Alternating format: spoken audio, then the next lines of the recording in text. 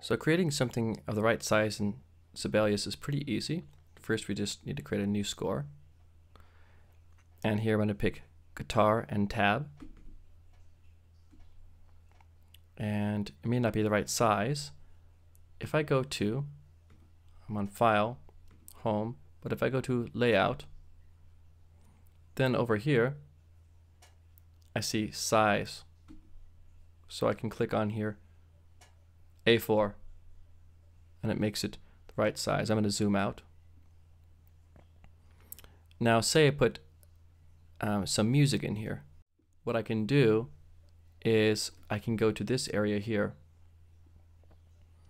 I'm sorry, rather, this area here. It says staff size. And I can change the size of the staff slightly to make more things fit in or less.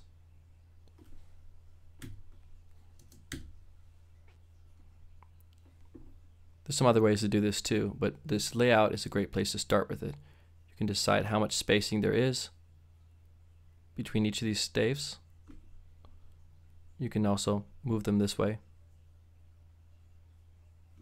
individually to fit them.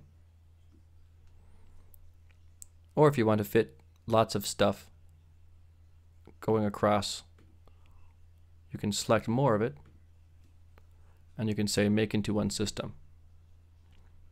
So most of the adjustments you'll want to make are right here on this layout page to do that.